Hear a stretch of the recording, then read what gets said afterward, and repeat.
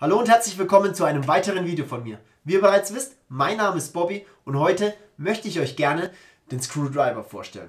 Der Screwdriver ist ein, ähm, ein Longdrink in einem Highball-Glas, der mit Eiswürfeln einfach nur aufgebaut wird. Er besteht aus Wodka, Orangensaft und Eiswürfel dementsprechend.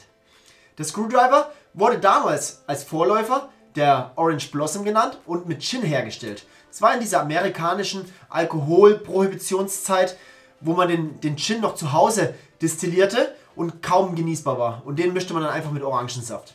Später, als der Wodka dann popular wurde, mischte man ihn statt mit Gin mit Wodka. Man nennt ihn auch einfach Wodka O oder Wodka Orangensaft. Screwdriver heißt auf Deutsch übersetzt Schraubenzieher. Der Name kommt daher, weil man früher Orangensaft in Dosen erhalten hat und demnach mit einem Schraubenzieher sozusagen die Dose geknackt hat und bei dem Namen Screwdriver dann hängen blieb. Heute mixen wir das Ganze einfach mal.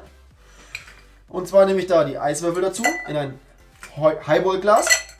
Das Mischverhältnis ist 3 zu 1 oder 2 zu 1. Das bedeutet, ich nehme ein Teil Wodka, ca. 4 Cl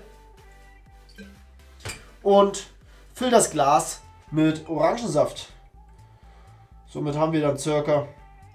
3 Teile Orangensaft, 1 Teil Wodka, einen Strohhalm in das Glas geben, kurz umgerührt und fertig ist unser Screwdriver.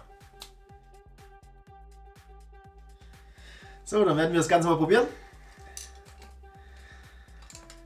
Ich wünsche zum Wohl. Oha.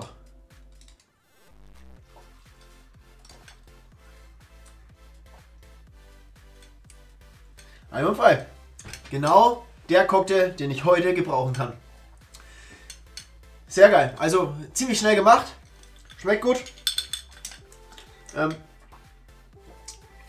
ja, taugt mir sehr gut. Ich bedanke mich recht herzlich fürs Anschauen.